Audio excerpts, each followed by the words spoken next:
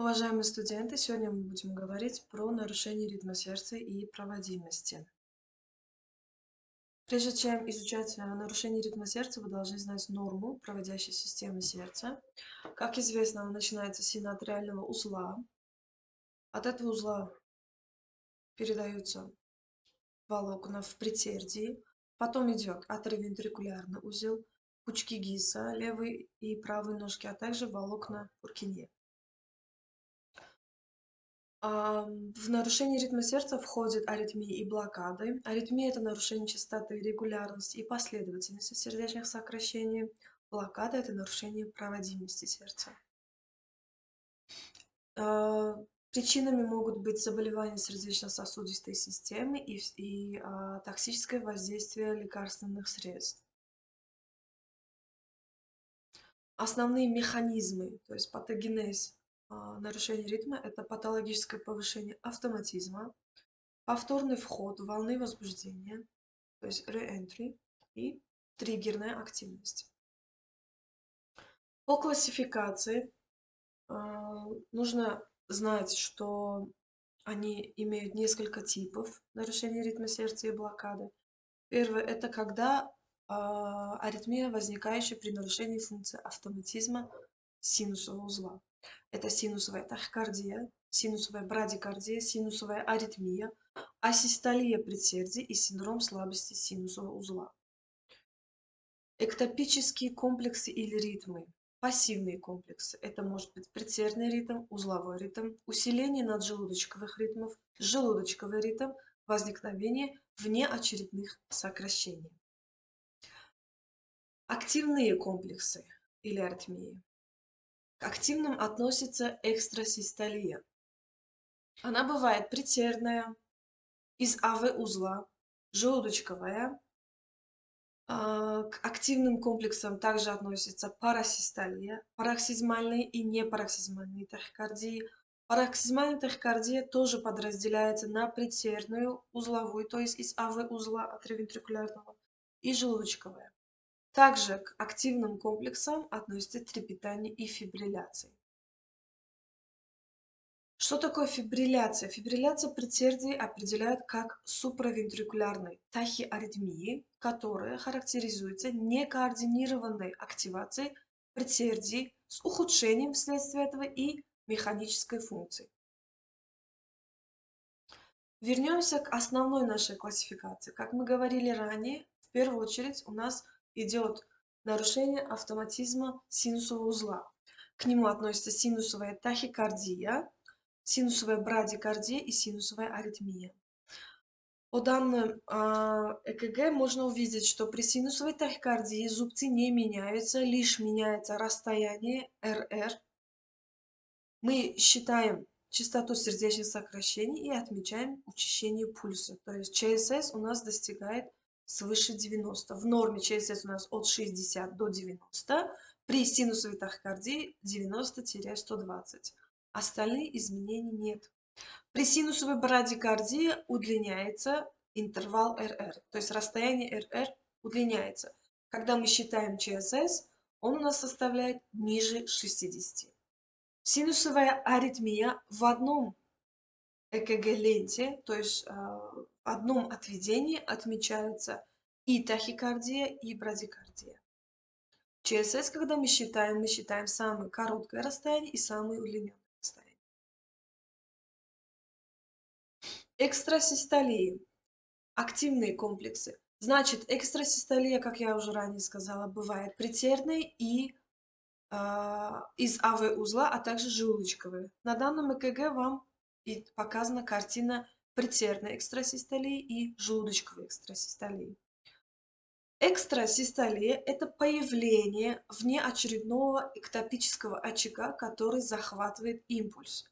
Захватывает импульс и на ЭКГ-ленте появляется внеочередной комплекс. В норме идет нормальный комплекс, далее пауза и далее идет следующий комплекс. Но После следующего комплекса, когда должна была идти пауза, появляется внеочередной комплекс. И мы называем это интервал сцепления. Здесь патологический комплекс а, образуется из зубца П и QRS. Здесь деформация QRS не отмечается. Только зубец P может измениться в виде двухглавого, двухрогового P или отрицательный P.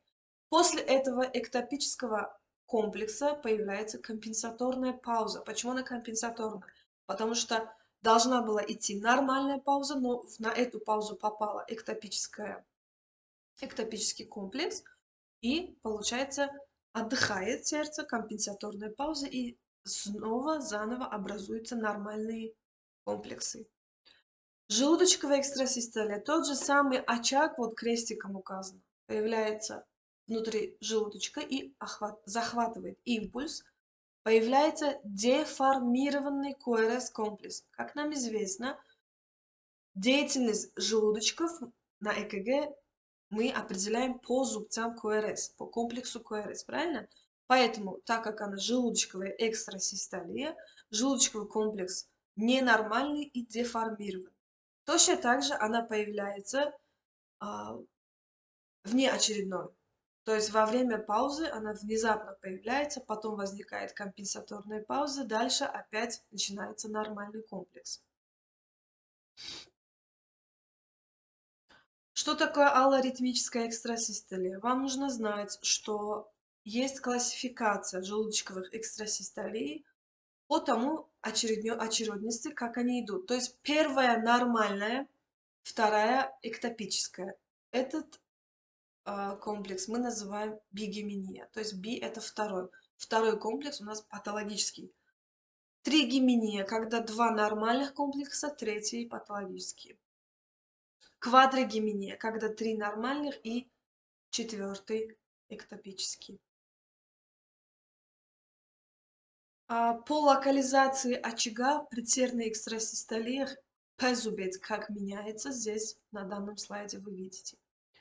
То есть он может быть двухрогим, он может быть отрицательным, он может идти сам без QRS. Из АВ-соединений, из АВ-узла Значит, мы с вами поговорили про предсердий, про желудочковый, и теперь из АВ-узла. Здесь у нас отличие от предсердного. Сперва идет КРС, а потом зубец П. Точно так же появляется внеочередной а, во время паузы. Сперва идет КРС, КРС, потом измененный зубец П. Он может быть или нормальным, или двухрогим, или отрицательным. Но отличие от предсердного, запомните, ребята, после КРС – при предсердном сперва мы могли поймать P, потом QRS. Иногда даже QRS мог бы и не поймать, но обязательно будет P. Из АВ узла сперва идет QRS. Но обратите внимание, и при предсердном из АВ узла QRS не деформирован. При желудочковом экстрасистолии QRS деформируется. Вот еще раз мы можем увидеть картину желудочковой экстрасистолии. Везде идет деформация КРС. Пароксизмальная тахикардия. Это тахикардия, которая возникает внезапно и может остановиться тоже внезапно, с очень частыми сердечными сокращениями от 140 до 300. Значит, э, тоже по классификации бывает предсердная пароксизмальная из АВ-узла и желудочковая. Частота сердечных сокращений, еще раз говорю, бывает от 140 до 300. Расстояние РР очень укороченный, сокращенный. Деформации КРС нету, когда предсердная или из АВ-узла. Вот мы видим настоящую ЭКГ-ленту, где идет пароксизмальная тахикардия. Обратите внимание на расстояние РР. Одна большая клетка и одна маленькая. Вспомним формулу, как мы считаем частоту сердечных сокращений. И когда вы здесь посчитаете, оно будет около 200.